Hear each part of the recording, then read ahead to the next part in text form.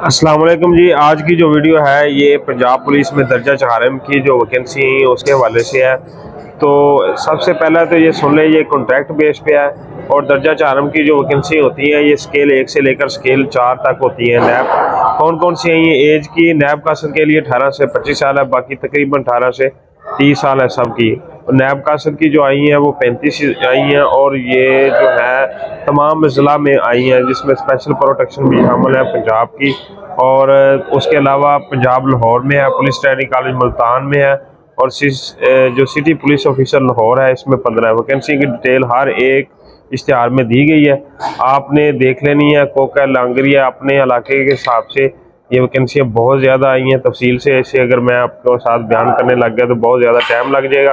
आपने ओवरऑल इसे रीड कर लेना है ठीक है? जो अहम चीज़ थी वो मैंने बता दिया अठारह से चालीस साल तक, पैंतालीस साल तक भी है। तो जो जितनी जितनी पोस्टें आई हैं, आगे मेंशन भी किया गया जी, इस ज़िले को इतनी दी गई, इस ज़िले को इतनी दी गई हैं तो उसी ज़िले से जो लड़के हैं, वो भर्ती होंगे, ना कि दूसरे ज़िले से। और उसके अलावा जी, आपने एप्लीकेशन जो है, अपनी पुलिस लाइन में ही जमा करवानी है। इनकी वेबसाइट है, यहाँ P P F Punjab police dot G V K. यहाँ से आपने जाके डाउनलोड कर लेना है। अगर आपने इधर नहीं जाते तो आप किसी फ़ोटो स्टेट के पास चले जाए। वो आपको एप्लीकेशन दे देगा। लास्ट डेट जो है वो 15 नवंबर 2022 है। पंजाब पुलिस की जो वैकेंसी आई है, वो यकम नवंबर से लेकर जो उसके साथ साथ 15 नवंबर तक वो चलेंगी। फ़ीस सिर्फ़ और सिर्फ़ पंजाब पचास रुपये फ़ीस है। तो बाकी बहुत ज़्यादा आगे कंडीशन है, वो आस्ता आस्ता आपके साथ शेयर करते रहेंगे। मिलते जी नेक्स्ट अपडेट में। ओके, अल्लाह हाफिज़।